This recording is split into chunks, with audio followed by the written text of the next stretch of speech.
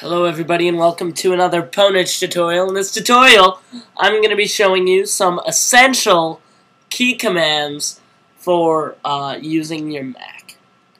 The first command is um, Apple W, and that automatically closes the window that you have open. It's, it's useful for if you don't want to click on the little stoplight buttons. So Apple W immediately closes the window and then there's Apple M, which immediately minimizes the window. Now, those by itself are really useful key combos for your Mac, but there's better ones. If you do Apple Alt W, it closes every single window open in that application. And, um, okay, I happen to have this many windows open in Finder. Oh god! Oh god.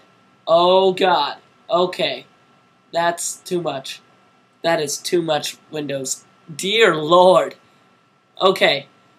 Uh, so, notice if I go Apple, Option M, all of these are going to minimize. And this might just kill my 1.8 gigahertz uh, MacBook. So, let's watch my MacBook almost die.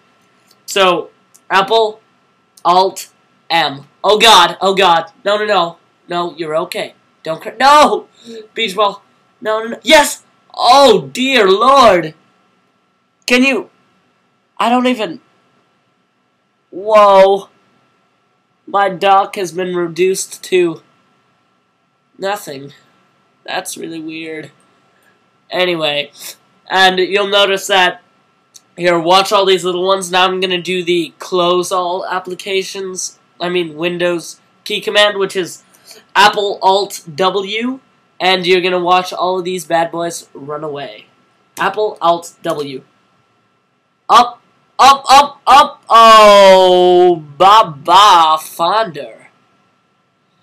Anyway, thanks for watching. Uh, you can visit my blog if you want. If you don't want, whatever. I have a link to my blog and these key commands in the, the, the show notes.